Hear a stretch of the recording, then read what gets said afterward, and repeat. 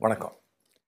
ஸ்டாலின் தான் வராரு விடியல் தர போறாரு அப்படின்னு உடன்பிறப்புகள்லாம் நம்பிட்டு இருக்கிற இந்த வேளையில் திமுக தலைவர் ஸ்டாலின் ஒவ்வொரு ஊர் ஊரா சென்று தனது தேர்தல் பிரச்சாரங்களை பண்ணிட்டு இருக்காரு.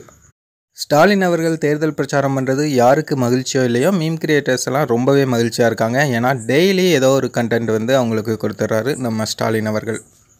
ஸ்டாலின் அவர்களுக்கு இதில் இன்னொரு வருத்தமான செய்தி என்ன அப்படின்னா நான் முதலமைச்சராகி இதை பண்ணுவேன் அப்படின்னு ஸ்டாலின் சொல்கிறது எல்லாமே பழனிசாமி அவர்கள் நீ என்ன சொல்கிறது நானே செஞ்சு வச்சிடுறேன் அப்படின்னு முடிச்சு வச்சிடறாரு. சமீபத்தில் கூட விவசாய கடனை தள்ளுபடி பண்ணுறேன்னு ஸ்டாலின் சொன்னார். முதலமைச்சர் எடப்பாடி பழனிசாமி அவர்கள் வந்து தள்ளுபடியை பண்ணிட்டார். ஸோ இதெல்லாம் மனசில் வச்சுட்டு விருதாச்சலம் கூட்டத்தில் இன்றைக்கி ஸ்டாலின் அவர்கள் பேசியிருந்தார். அவர் பேசும்போது ஒரு விஷயம் சொன்னார். நண்பர் ரஜினிகாந்த் அவர்கள் அருணாச்சலம் படத்தில் ஒரு வசனம் பேசுவார். ஆண்டவன் சொல்கிறான் அருணாச்சலம் செய்கிறான்னு அதே மாதிரி இந்த ஸ்டாலின் சொல்கிறாரு எடப்பாடி பழனிசாமி செய்கிறாரு அப்படின்னு விருதாச்சலம் கூட்டத்தில் தலைவர் ரஜினி அவர்களை மேற்கோள் காட்டி ஸ்டாலின் அவர்கள் பேசியிருக்காங்க.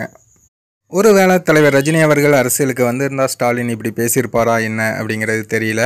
ஆனால் தலைவர் ரஜினி அவர்கள் அரசியலுக்கு வரல அப்படின்னதையும் ஸ்டாலின் அவர்கள் ரொம்பவே சந்தோஷமாக இருக்காங்க அப்படின்னு நல்லாவே தெரியுது. ஏன்னா ரஜினி அவர்கள் அரசியலுக்கு வர்றோம் அப்படின்னு சொல்லும்போது அவர் என்ன சொன்னார் அப்படின்னா நம்ம வந்து இந்த தடவை நம்ம தான் ஜெயிக்கிறோம். ஆனால் ஜெயிக்கிறது ரொம்ப கஷ்டம். கஷ்டப்பட்டு தான் ஜெயிக்கணும். நல்லா உழைக்கணும். அப்படின்னு சொன்னார். ஆனால் இப்போ வர பேட்டிகள்லாம் ஸ்டாலின் அவர்கள் என்ன சொல்கிறாங்க அப்படின்னு கேட்டிங்கன்னா இரநூறு தொகுதிக்கு மேலே நம்ம கண்டிப்பாக ஜெயிக்கிறோம் அப்படின்னு ஸ்டாலின் சொல்கிறாங்க ஸோ இதுக்கு மேலே நம்ம தமிழ்நாட்டோட தலையெழுத்து எப்படி இருக்குது அப்படின்னு தெரியல. ஒரு வேலை அதிசயம் அற்புதம் நடந்தால் நல்லாயிருக்கும்